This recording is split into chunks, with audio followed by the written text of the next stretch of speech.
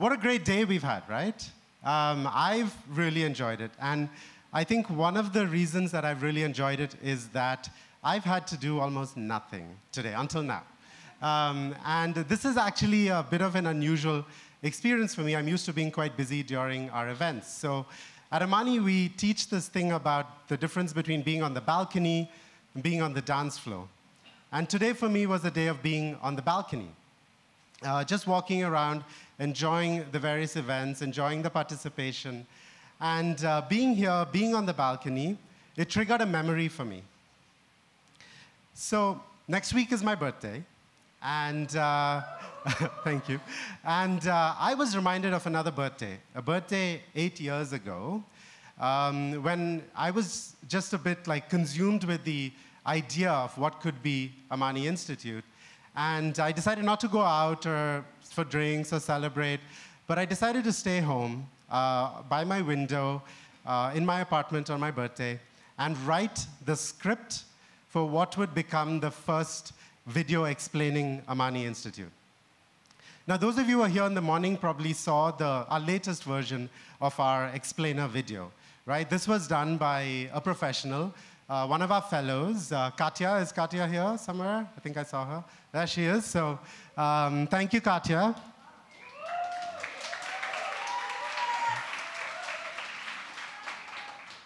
But eight years ago, we didn't have the resources to, to invite someone like Katya to do this. And so me, who had never, knew nothing about making a video or filmmaking in any way, was spending my night of my birthday writing the script for this video. And of course, it was exciting, but it was also a little bit lonely, right? Uh, this is how I'm spending my birthday. Um, and if you had told me eight years ago that I would be standing here today in Sao Paulo, Brazil, a city I'd never even thought about visiting, being so proud of our team of 20 people who had created this event in partnership with Red Bull that was sold out three times over, I would have thought you were crazy.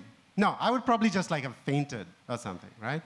Um, so it's been, it's been really magical to, to, to be here for this. And I'm aware that I've told you a story that may sound like it's a story of dreams coming true, right? But the reality is that Ashley wouldn't even have been able to dream this eight years ago. Things have changed so much. I'm also aware I've told you a story of success that makes it seem like success was a straight line. But we all know that success is not a straight line.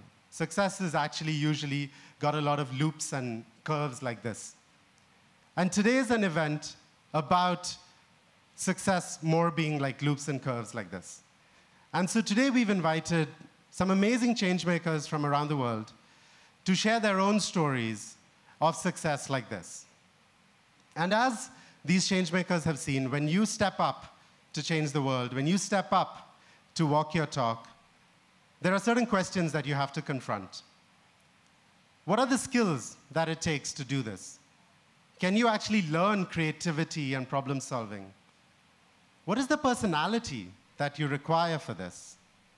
Can you learn courage to overcome the obstacles?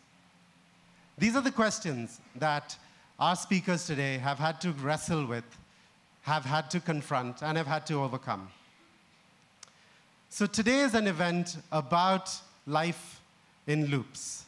It's about what really happens between the idea and the reality, between the plan and the implementation, between the vision and the impact. And I'm sure that many of you know that humans remember best through stories. It is through stories that we learn what we care about. It's through stories that we remember things. So, our hope for you today is that you take away some of these powerful stories that you're going to hear today and take away what you learn from them.